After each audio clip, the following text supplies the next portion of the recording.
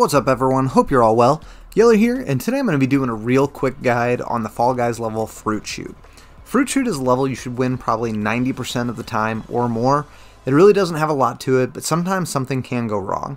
I do want to let you guys know, I do hear your feedback, and this week I will be covering the Season 2 information that's currently available, as well as my thoughts on it. Alright, so before we get into it, if you enjoy this video today and would like to see more detailed Fall Guys guides and content in the future, Give it a like, consider subscribing, and let me know what type of content you guys would like to see going forward. Let's get into it. So the very first tip I have for this level is never walk down the middle and never walk towards the middle. You can see I've already qualified here, so I've got a clip of me spectating another player just walking towards the middle.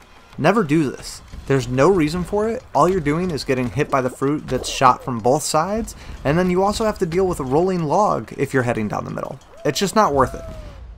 So let's talk about what you actually want to do during this level. At the start of the level, you're going to want to walk down the ramp and jump dive as far as possible along the edges of the map. You can bunny hop here, I just don't really find it to be consistent on avoiding fruit, and really that's what you should be doing when you jump dive. You want to be looking for the spot where you will not initially be hit, and by doing this, you're already off to a better start than 50% of the lobby.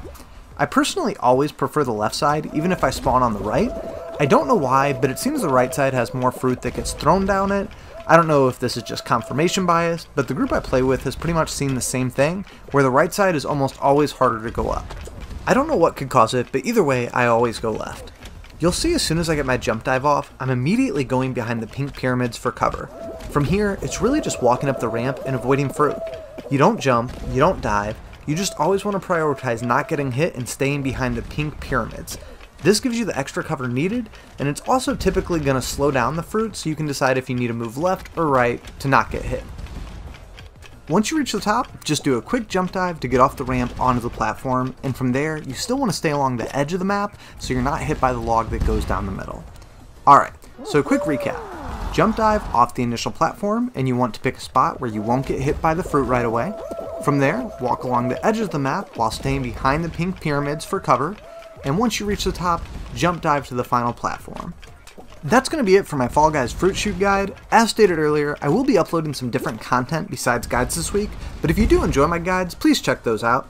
Either way, thank you so much for watching, and if you enjoyed the video, please like and consider subscribing. Enjoy your day.